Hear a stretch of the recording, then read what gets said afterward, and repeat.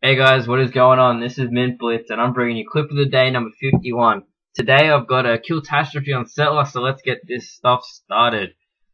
As soon as Vegas plays, okay, I get the single kill for the, with the damage boost. I jetpack up and see the guy for the double, quickly kill him. Then I see the triple, he puts a few shots into me, but I take him down anyway.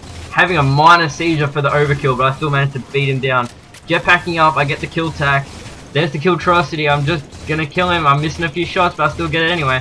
There's the Jara spamming the bloody Magnum. I still get it. Get the call out for the Tastrophe, quickly turn around and headshot the Killtastrophe.